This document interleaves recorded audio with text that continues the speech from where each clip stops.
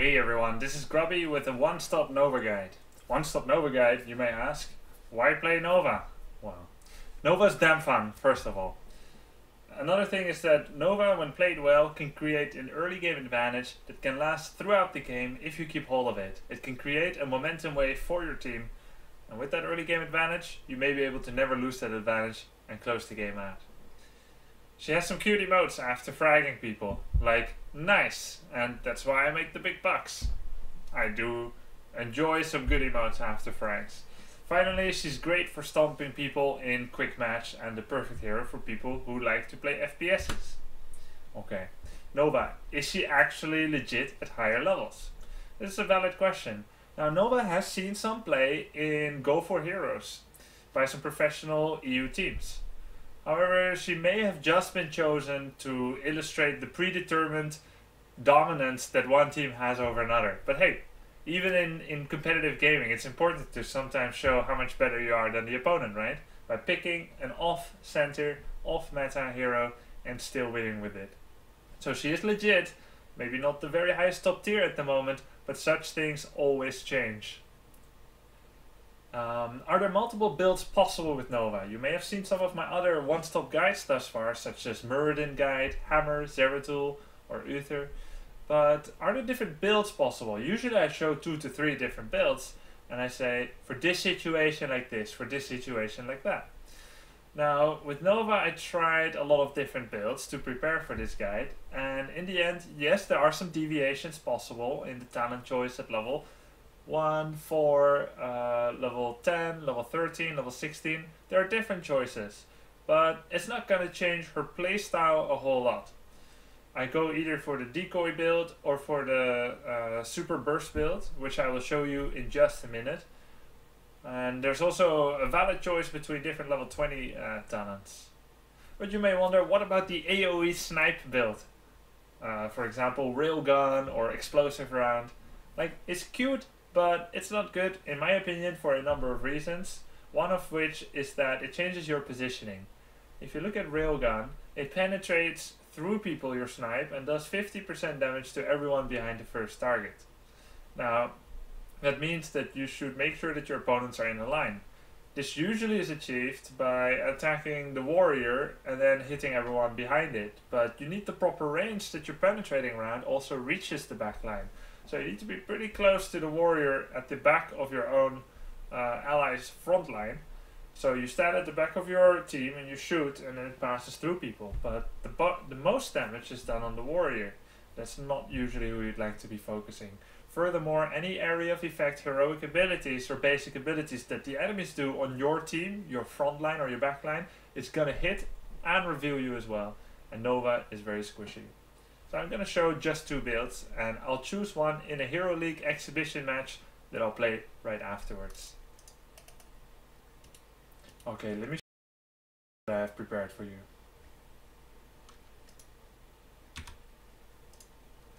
Here. This is the Burst Nova. It's pretty much the highest possible burst damage against a single target while uh, still being a good team fighter Nova.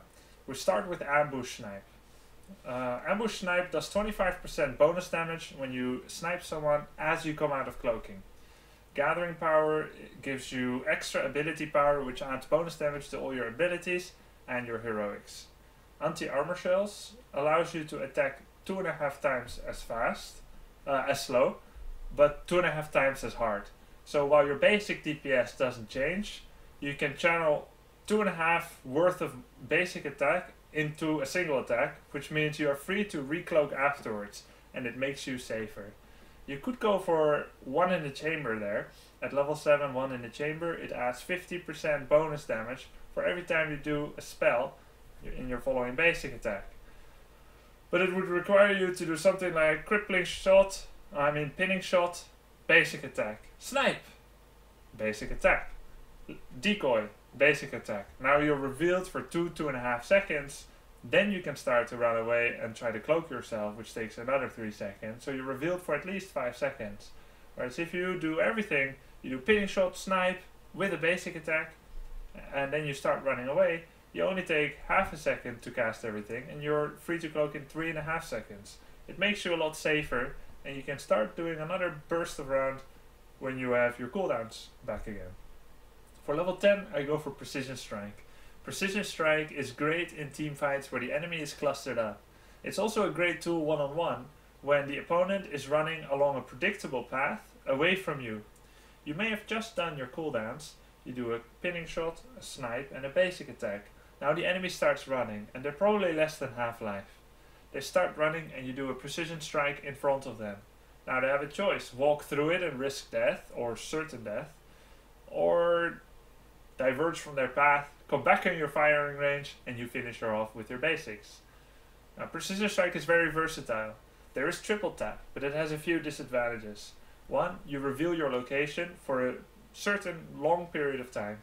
Two, it can get body blocked by enemy allies. Three, it can get body blocked by things like the opponent's decoy, or walls, or buildings, or towers. Finally, uh, it is a channeling one, so it can potentially get cancelled if you uh, get interrupted or stunned. Now you can improve that a little bit with good positioning. The, the firing range of triple tap is very long. So it is true that triple tap can be a legit choice. But it's still, it's just single target damage. And I like to also build a bit for team fights. From level 1 to 13, I like, or 1 to 15, I like to do a lot of hunting. But at 16, I want to be a true team fighter accessory, which is why I go for crippling shot there. Let's look at level 13. Level 13, the only talent that does extra damage there, between Spell Shield, Lethal Decoy, Advanced Cloaking, and Headshot, the only one that does extra damage is Lethal Decoy, whereas Headshot has the potential to do more damage, because it lowers your cooldowns every time you kill an enemy hero. But Lethal Decoy is the certain one, that's why I choose it. It also creates a little bit more confusion, which one is the real Nova. Finally, Lethal Decoy does one of every ability, it does a basic attack for you or more. It does a pinning shot for you. And it does a snipe for you. Each one will hit with only 25% worth of damage. But it's really cool that it does a pinning shot for you. Because this is a real pinning shot that really slows people. And it really adds the level 16 talent of crippling shot. So say for instance you are a triple tapper and you, uh, you, you, you have the build that I have listed here with lethal decoy and crippling shot. You cast a crippling shot on the opponent, you'll be quite close to them because the firing range isn't that long. Then you do a triple tap. The first two triple taps will have 25% bonus damage because crippling shot gives 25% bonus damage of all damage taken for a certain amount of time, including your allies' attacks and spells, but also for your own. So your first two triple taps is uh, bonus damage, but the last one isn't. But if you do crippling shot and you do a lethal decoy next to them, and then you start your triple tap, the first two are bonus damage from your own, and then your decoy is nice enough to add another crippling shot on them, making your third one do bonus damage as well. It's a very powerful mechanic that it adds the bonus damage as well. Yeah, crippling shot is amazing to focus down anyone, even warriors. It works like Tyrande's Hunter's Mark, like the Northern Exposure for Jaina. These are very powerful abilities, bonus damage on single target. And if you attack the one uh, which is currently taking damage from your teammates, you are a true team fighter Nova bro. Finally, Bolt of the Storm. We could go for Rewind here and go for crippling snipe, basic attack, rewind, crippling snipe, lethal decoy, etc. And it's a really powerful burst, and I encourage you to try out how Rewind works for you It's powerful. Uh, I choose Bolt of the Storm so that I have both my only escape in the game, as well as potentially chasing down people and killing them as they try to run away. This also adds damage, just as Rewind does. And I find that losing my life with Nova is too critically bad, especially since I am banking on gathering power stacks. When you lose your life as a hero, you lose all gathering power stacks, and you go back from 15% to 5%. That's why I value Bolt of the Storm so highly. Let's look at the second build. I call this Killzone Nova. It's not a name I came up with myself, but it's this popular build that's going around right now. And I've tried it. It's good. It's basically the same in the basic premises as the other build, but it changes the level 16 talent. Instead of going for Crippling Shot, which adds a lot of utility to all of your teammates, you make a second decoy. Now the way it works is this. The first decoy can be aimed in an area of your choosing, just like before. But the double decoy will place at your own feet. So if you do use Alt E, Alt is to cast the spell at your own feet, no matter what it is. It's called self-cast. If you do Alt E, suddenly two illusions spawn at your own feet. And it will be difficult for the opponent to know which one is the real one. You can also cast your decoy somewhere else and one starts moving where you are. Kind of, this can be bad because let's say if you are in bush number one and they are in bush number two and you put, or let's say they're near bush number two, you put a decoy in bush number two and they somehow know it's not the real one. And then suddenly your decoy comes from the left from bush number one, the second decoy, then they know that you were there until recently. Whereas if you have just a single decoy, and you place it in a bush number two and he sees it, he doesn't know if you were left, bottom or right because maybe he didn't have vision of it. So there can be a disadvantage in double decoy. Just make sure to use it smartly because you don't want to use it dumbly. Um, but double decoy is really cool. It adds more damage, more pinning, crippling shot, uh, not crippling shot, but more pinning shot, more snipes, and more confusion. And to make the confusion complete, we go rewind at level 20. So you can have up to four decoys at the same time. If you meet someone in a one-on-one, and you snipe them, you pinning shot them, you basic attack them, you make four decoys with a rewind and then snipe and pinning shot them again, it is very likely that whoever it is, even if it's Arthas or Diablo himself, that they will perish under the assault of your five Nova's fire. Okay, these are the two builds, and I will choose which build I'm gonna go for in the Hero League based on my evaluation of the situation.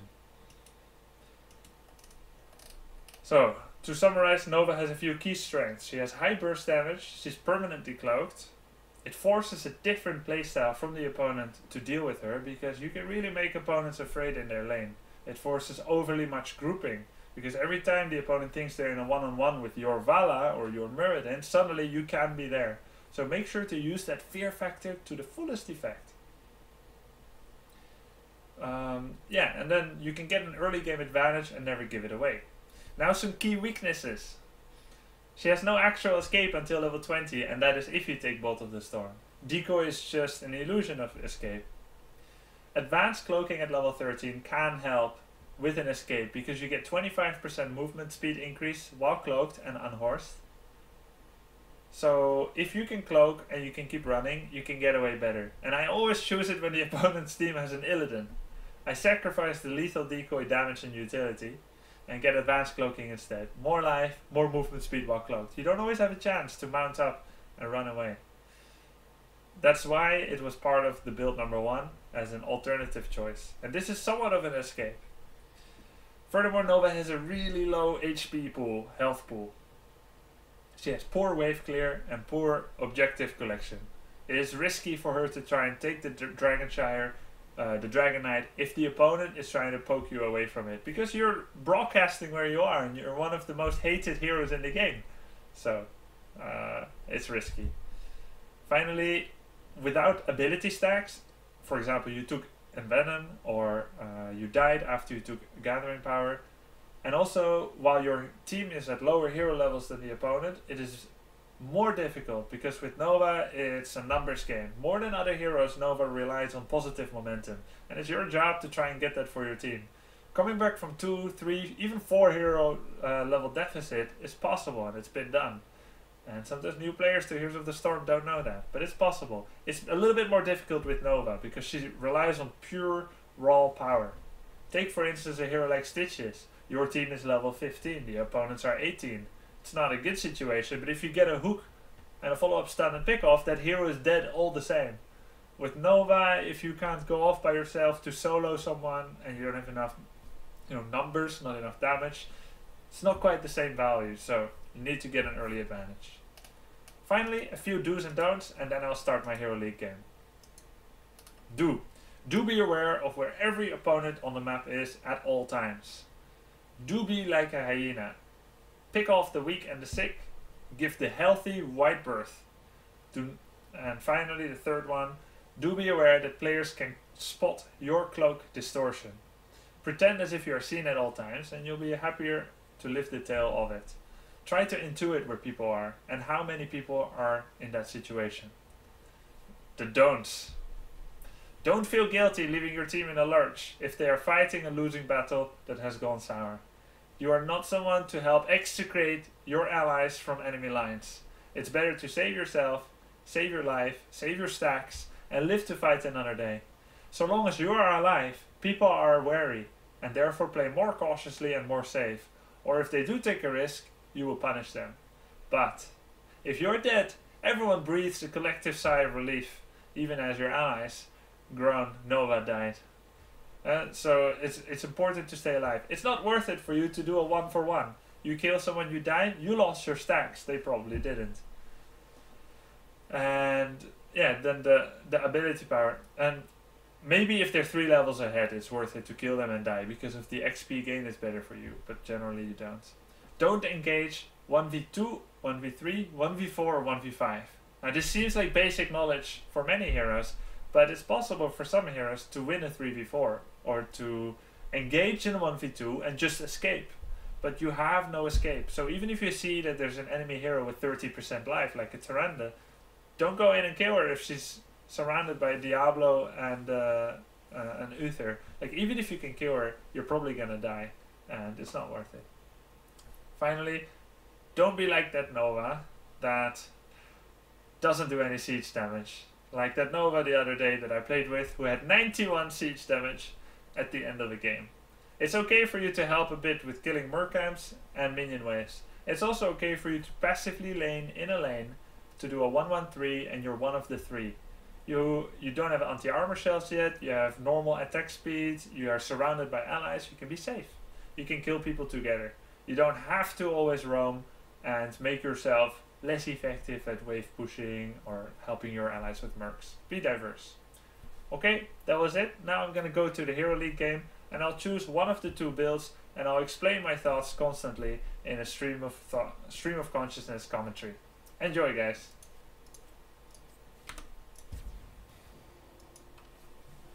Okay, we found a game, so this is where I let my team know that I'd like to go for Nova. Nova first pick on Haunted Mines.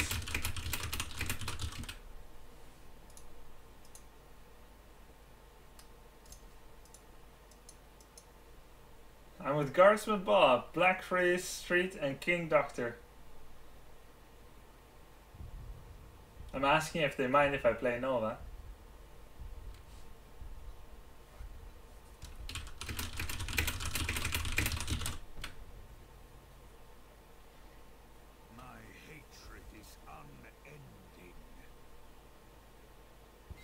They are not answering.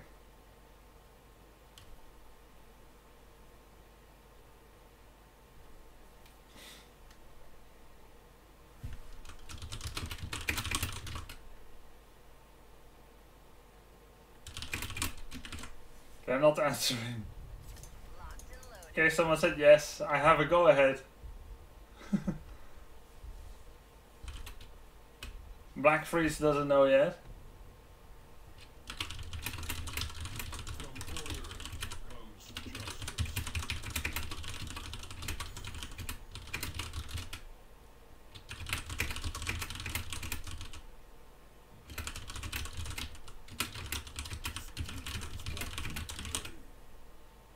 I told them I'm going Nova because I'm doing a one-stop guide on her. And I've never lost a game where I went for one-stop guide hero yet, but this could be the first. So Tassadar is a good choice on Haunted Mines. He can shield the towers and the forts, prevent them from dying to the golem. Can I not play a hero, please?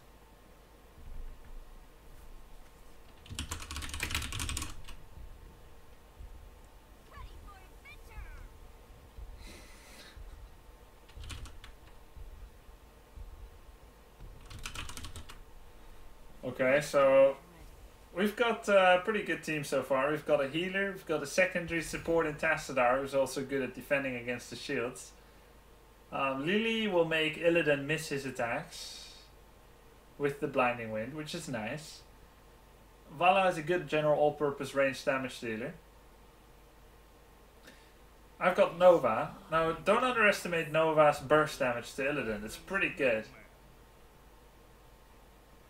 Abathur might be something that I'll look to kill in the mid to late game, but I shouldn't go too much out of my way for it, because I'll be deep behind enemy lines, and unlike Zeratul, I don't have Bolt of the Storm or Blink.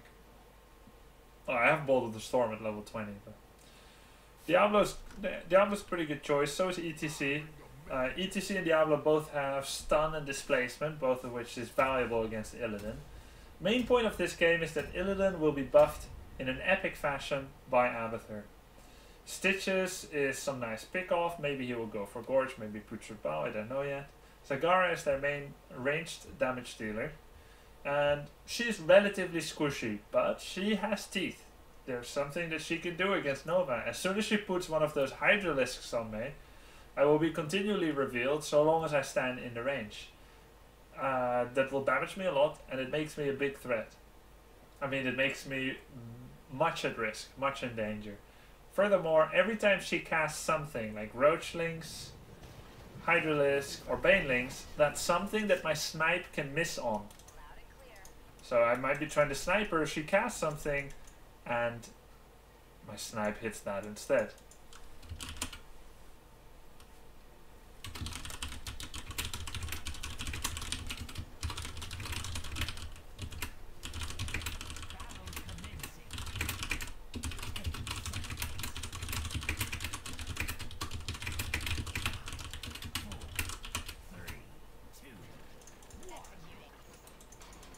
Okay, so we're gonna push the wave here, and uh, let's see what the opponent does. I expect if Zagara, let's see, if Zagara goes for Demolitionist, we need to hunt her.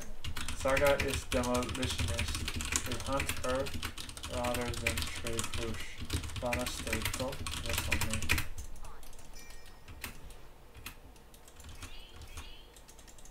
Uh, it's not good to ignore.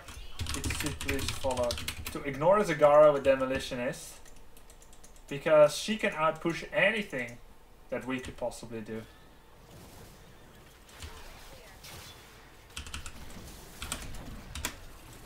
So we just go deep push. Zagara is a better deep pusher than anything that we have. A better pusher too. So you see, Nova can help with wave clear. It's not only about getting the secret roams. I think they might be heading to the top now. No, is still here. We can come from behind. Um, yeah, let's go hunt ETC and then go down. I mean stitches. Back down.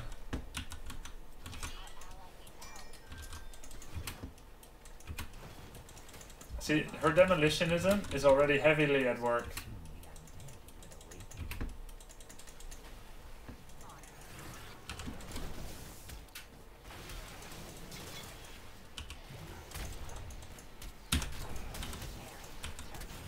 Better to depush, we have a better fighting team for now.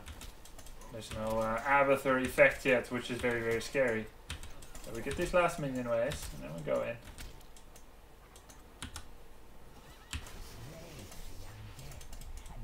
Go get the skulls. The biggest skulls are in the middle.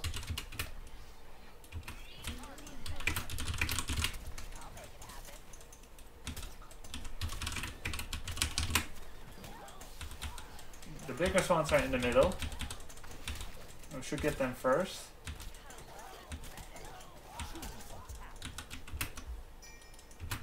I'll go for uh, gathering power.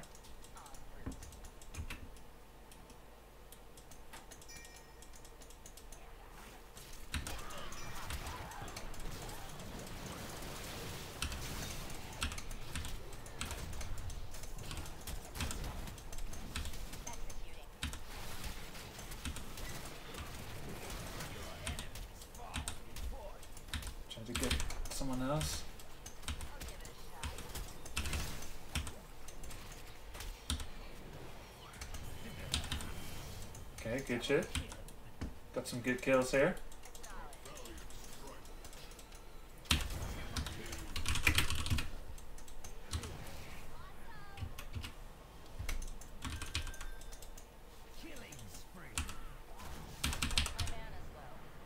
So we're all gonna heal now and then go in again. Their Abathur, let's see, where are his locusts coming from? It looks like they're still coming dutifully from the base. Which means he's not like mid mid lane soak. Oh yeah, he's right here. He's right here. That's what I would do too. And that's what you should do. You should soak from here.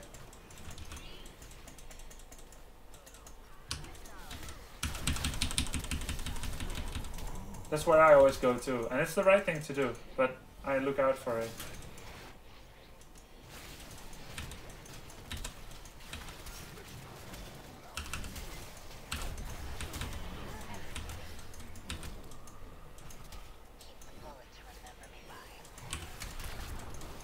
Okay, we're gonna get these heroes back and they're not gonna be able to do the boss yet.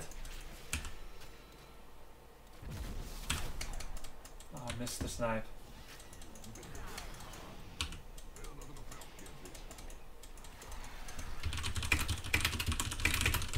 We're, we're fine, we're fine.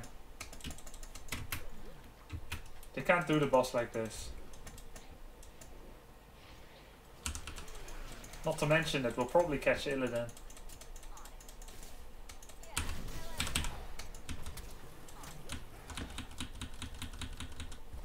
Do the boss. They're all healing. Okay, now anti-armor shells. Always move between shots. It's always already important to move between shots, but all the more so with anti-armor shells. Okay, let's go to the middle.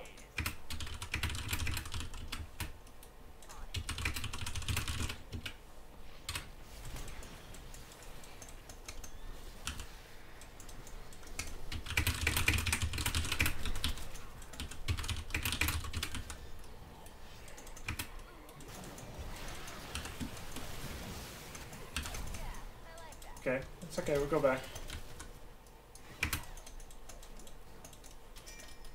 Okay, now it's important to get the siege giants. But we don't cap them too soon. And always get all the lane XP as well. Don't don't neglect that. Okay. One good way of preventing an early capping of the golem is by just not taking it too soon ideally you don't want to take the golem until their golem, I mean the siege giants, until their golem is at their gate wall.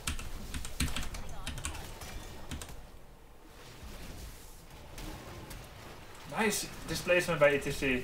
Now we get the stitches.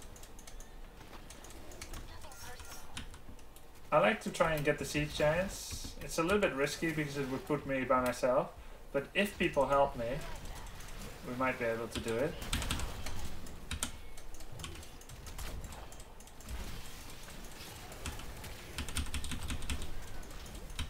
If you kill the giants, the golem keeps a lot more of its life. It's worth way more than trying to kill a hero. Heroes don't do as much damage as two siege giants, so I'm glad that we killed them quickly. Okay, precision strike now.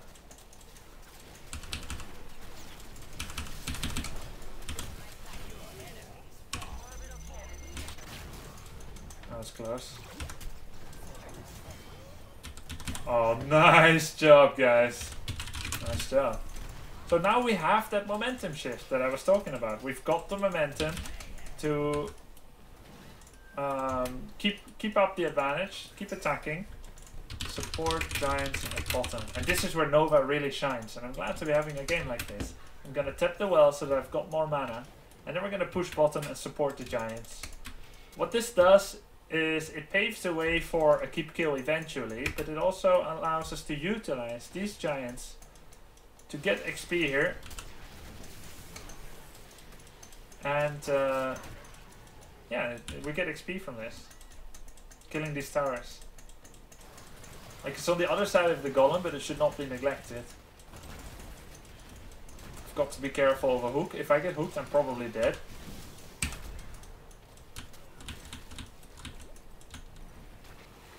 So I just stay, make sure that things stay in between me and Stitches.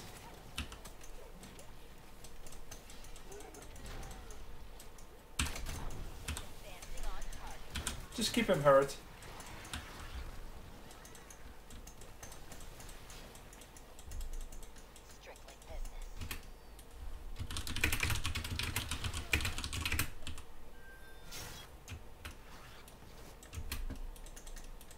Just taking the tower.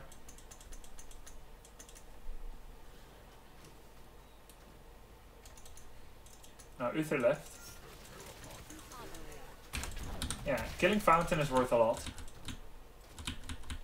Now they cannot have an easy drink anymore in between mines. That's a good choice to kill that. Just keep him low. They don't have any free healing like heal wards. They only have Uther's heal.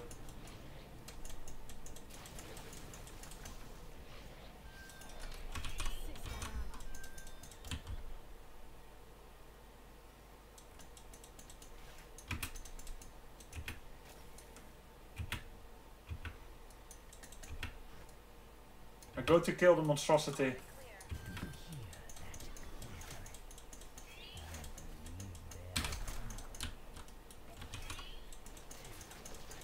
We're almost 13.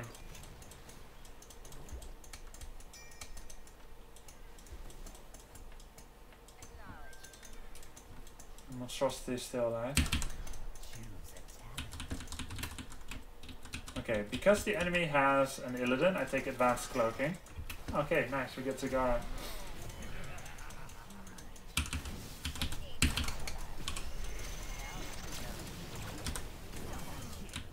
Okay, nice. We can get Uther too, I think. Uh, start the boss.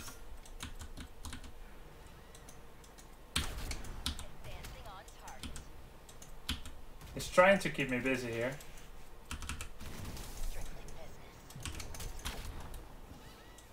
I'm okay with that. So Monstrosity already died. It did do good damage against that fort, but I don't mind too too much.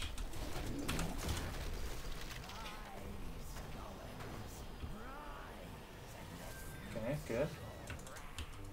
They're getting the bruiser camp now. We should get our siege giants again. Um, yes. Do that again.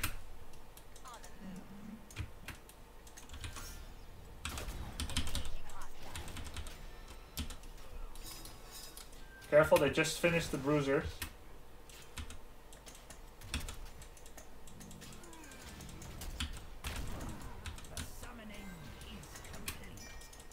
Okay. They've got their 13s.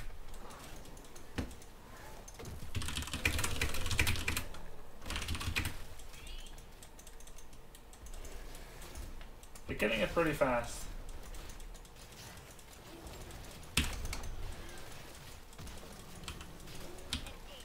Uther may have sprint now. I need to check quickly.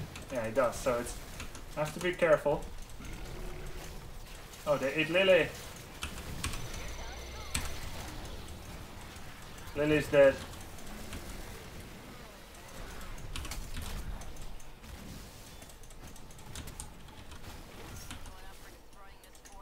No Li Li, no push.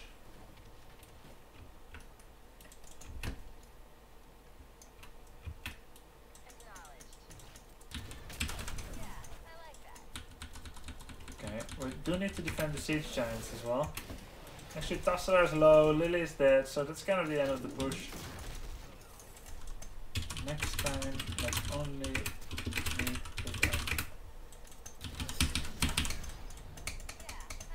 delete one spell until we arrive. So it's not 50% once we get there. I hope they'll stick to it.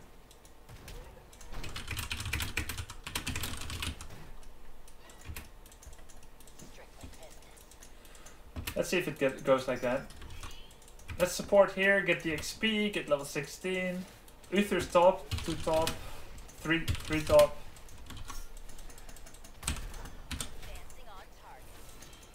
They're gonna push as well, most likely.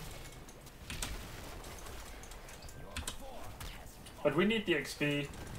Well, we don't need it more, I would say, but we are uh, getting 16 from this, and we're gonna push on to their keep already, sooner than them.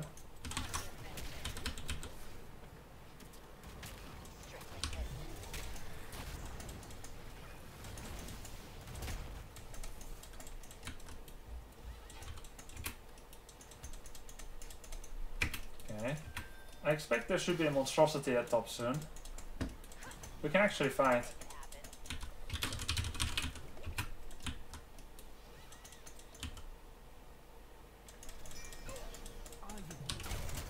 Use the decoys to block for hooks.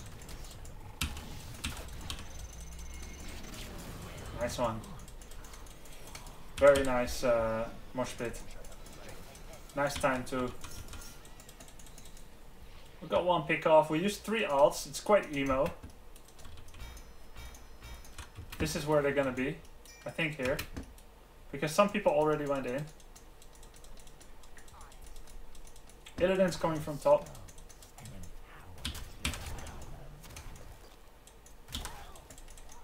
Nova best skull clear EU.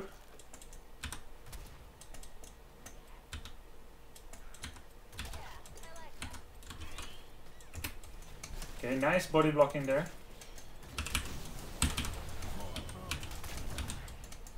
And Illidan by himself. okay, I think we're gonna get him.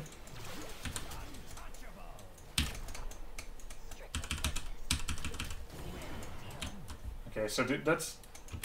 Once I hit that crippling shot, he takes more damage, he's slowed, and everything. It's really good. Let's see, how much damage? Make sure that if you're uncloaked, you first cloak again before you do your ambush snipe. So for instance, I do a basic attack and a snipe. I need to wait two and a half seconds till my next basic, but I rather wait three seconds so I can also have bonus damage on my snipe, like this. 867 instead of 642. And also, if you're doing bosses... Oh! Oops. My bad. I wanted to leave on. I forgot myself because I was talking. Yeah, let's go. All attack. Tassa, no death now. Go fast, ignore.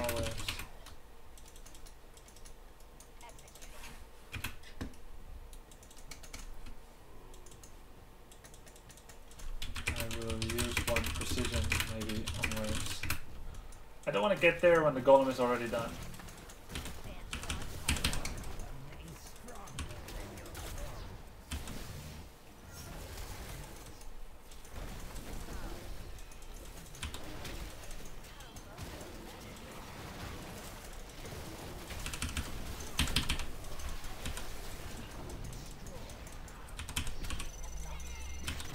nice mosh pit. Jeez.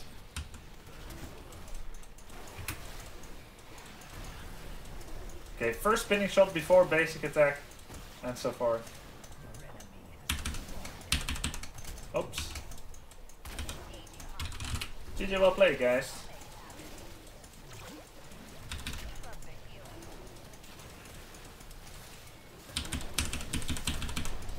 He got rooted. But he cleansed.